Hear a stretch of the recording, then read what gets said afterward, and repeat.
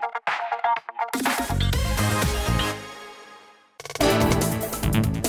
क्या पद्मावत को लेकर शाहिद कपूर हुए इनसिक्योर फ़िल्म पद्मावत की रिलीज़ के बाद क्रिटिक्स ने शाहिद के रोल की भी जमकर की है तारीफ़, लेकिन अपेरेंटली इसके बावजूद शाहिद हैं परेशान और उनकी इनसिक्योरिटी कम होने का नाम नहीं ले रही है। अकॉर्डिंग टू सोर्सेज इंडस्ट्री के लोगों के लिए फ़िल्म पद्मावत की एक स्पेशल स्क्रीनिंग रखी गई थी, जहाँ फ़िल्म की टीम ऐसी शाहिद के अलावा कोई भी मौजूद नहीं था। अपेरेंटली शाहिद ये इंश्योर कर रहे हैं की वो पद्मावत ऐसी रिलेटेड कोई भी इवेंट मिस न करें। शाहिद ने खुद ही अपने प्रमोशन की कमान संभाल ली है ताकि इंडस्ट्री के लोगों और दर्शकों को ये पता चलता रहे कि फ़िल्म पद्मावत में शाहिद का है मेजर रोल तीस में तीस।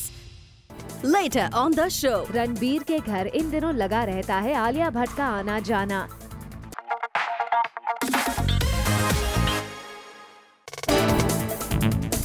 रणबीर कपूर आलिया भट्ट आजकल साथ कर रहे हैं टाइम स्पेंड दोनों की नजदीकियों के पीछे है उनकी आने वाली फ़िल्म ब्रह्मास्त्र। अपेरेंटली फ़िल्म के डायरेक्टर अयान मुखर्जी ने रणबीर और आलिया को साथ में टाइम स्पेंड करने के लिए कहा है ताकि इन दोनों के बीच केमिस्ट्री डेवलप हो सके।